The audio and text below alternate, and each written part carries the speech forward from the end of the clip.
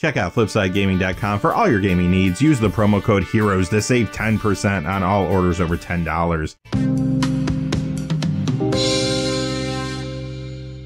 Hey there, this is John from Heroes and Legends, and welcome to another day of Core Set 2020 previews. We're going to talk about all the cards that were revealed over the course of the weekend. Not a lot to talk about, but we do get our last couple mythics here. As always, the sources are in the description below if you're curious. Also, if you're trying to pick up any singles or a booster box for Core Set 2020, they do have them at flipsidegaming.com. If you use that Heroes promo code, you can save a little cash while you support the channel. Always appreciated. With that out of the way, let's get into it. We're going to begin with the final Cavalier. This is Cavalier of Squall, and it is a Korean language preview.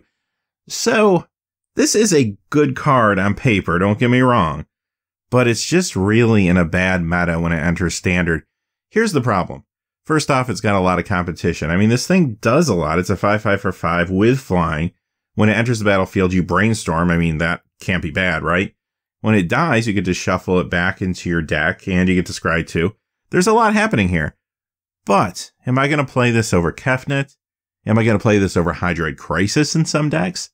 And worse yet, if this translation is correct and that Brainstorm is not a May ability, if Narset's on the battlefield, I can't really play this thing because I'm not going to draw the three cards, but I still have to put two cards on top of my deck. That's not going to feel good. So Narset alone just simply hoses this card. Yeah, this is just the wrong time and the wrong place for this. Even after rotation, all the cards I just mentioned are sticking around, so I don't really know where this is going to fit in when it comes to standard.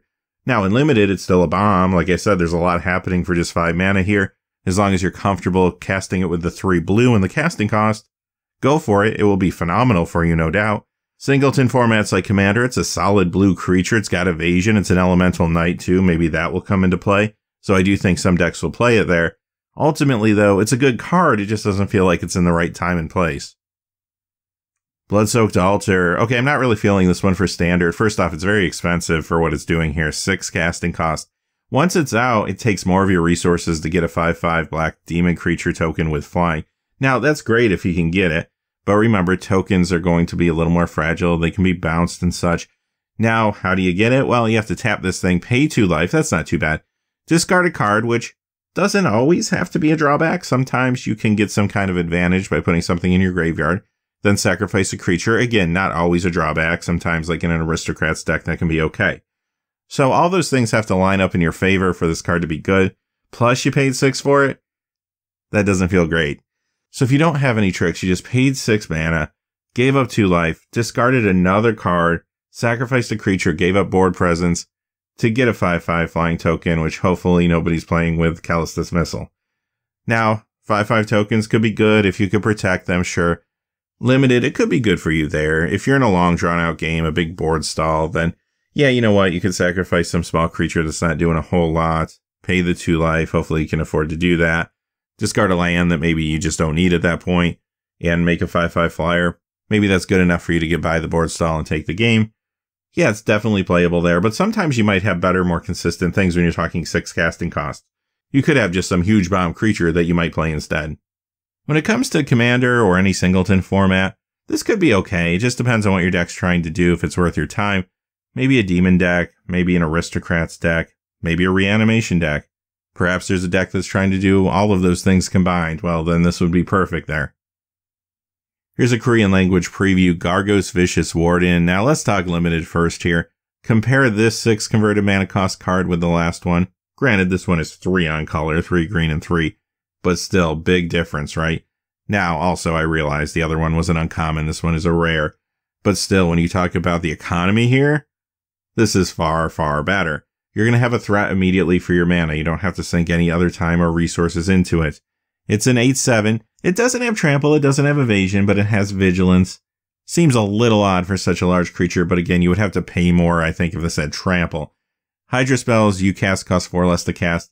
Maybe that rarely comes into play for Drafter Sealed, but we know there's at least one other Hydra in the set that we saw earlier in the week. Every time a creature you control becomes a target of a spell, this will fight up to one target creature you don't control. So now think of it this way. It doesn't say where the spell is coming from, at least not in this translation. I'm assuming that's correct. But if I go ahead and play a combat trick on one of my creatures, well, this is going to fight. That's pretty cool. If my opponent has to get rid of one of my creatures, including this one, they target it with spot removal, I'm going to get something of theirs most likely. So it is just going to kind of tighten the game up a little bit. Your opponent's going to start losing options as soon as this thing hits the battlefield. And even though, like I said, it doesn't have trample, this is still a big creature, especially if you got it out on turn 5 or turn 6. Is this good enough for standard? No, I think it's a little too expensive for what it is. There, the lack of trample or evasion is going to be a problem. This can be chump blocked. It could be taken out by a lot of things before you can really get it going, considering it's coming out a little bit later in the game. Now, maybe a deck could ramp into it, but there's a lot of really good ramp targets now. I don't know if I'm going to choose this one currently in the standard format. The last ability could still be good against some matchups, but not as good against other ones. In Commander is where this is going to shine. You could make this your Commander and go for a mono green Hydra build, or you could throw it into an existing build that has a lot of Hydras, get an Unbound Flourishing from Modern Horizons, and there you go, call it a day. Here's the final Planeswalker, Vivien Arkbow Ranger, and this one's okay. Here's what I like and here's what I don't like. The thing I don't like the most about it is the plus one and the minus three don't really do anything unless you have a creature. So distribute two plus one plus one counters among up to two creatures. They gain trample until end of turn, that could be good if you have a big dumb creature that can't get by for some reason, but just putting plus one plus one counters on something is very good. We've seen that with Ajani Adversary of Tyrants recently. So that's alright. The minus three, target creature you control deals damage equal to its power to target creature or planeswalker, so it's not a fight, it just does damage.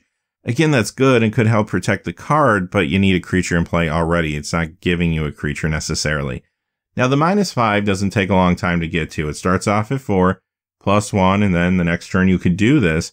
But it is a wish spell, so you can go grab a creature out of the sideboard. And there's a lot of good options that exist right now in standard. You could go with Carnage Tyrant, Thrashing Brontodon, Reclamation Sage, Knight of Autumn, Deputy of Detention. A lot of good creatures that you could just have one ofs in the board. Because of that, I do think this could see some standard play. First glance, I would say, you know what, I'm just going to use Ajani Adversary of Tyrants, but you know, Ajani is going to rotate out this fall. But regardless, this does bring some things to the table that Ajani doesn't, and I think it could show up in some token builds maybe alongside Ajani, Then post rotation, it could take a bigger role, assuming that archetype is still successful. Limited, it should be a bomb being a mythic planeswalker, and it is. It will be amazing there, as long as you're comfortable casting it for the three green and the casting cost. Then for singleton formats, Oathbreaker, Commander, yeah, could be good. Oathbreaker, you could try to build around this if you wanted to. This will be stronger, of course, and maybe go wide decks, token builds, builds where you have a lot of big creatures that maybe don't have trample, don't have evasion for some reason. Yeah, there's definitely some decks that will throw this in.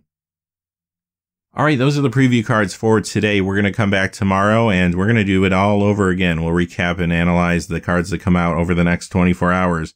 But until then, hey, thanks for watching. Please remember to like and subscribe and have a great day. Hey, thanks for watching. This video is made possible through the generous support of viewers like you on Patreon. Check out the description below for links to our Patreon page as well as our Amazon affiliate store where a small percentage of all sales will also help support the channel. Finally, if you haven't had a chance yet to subscribe, hit that subscribe button so you don't miss any of the new videos on Heroes and Legends. Talk to you again soon and have a great day.